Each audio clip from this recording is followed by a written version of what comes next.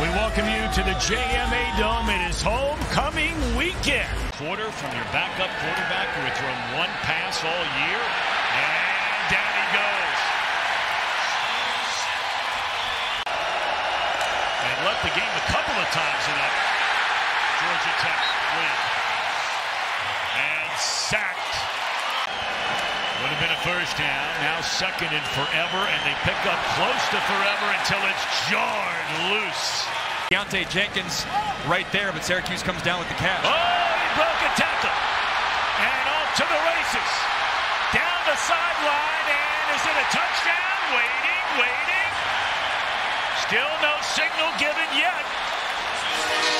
Payment just touches. In the hands of Pena.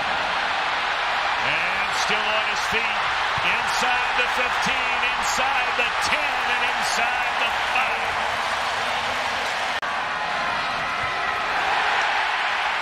No doubt about it this time. Pena in motion. McCord going to throw it wide open. And they convert on the two-point play.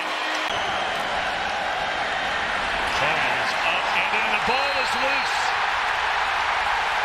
The ball is loose and Virginia Tech has it. Slant. You just called for that. Is this Ross Simmons again? It is. And up and over the top. It is a touchdown. So a temporary celebration as you the 10. McCord gives it to Allen. And he is spinning his way for the touchdown. Syracuse with a lead in overtime. Schlee tiptoeing towards the corner, cuts it back to the inside. And the ball comes loose, it did it. Syracuse just won the game. At Syracuse, it was a sluggish first half. They got the momentum in the third quarter. They lost it to begin the fourth. And Fran Brown's squad ultimately with that late game drive win this thing in overtime. And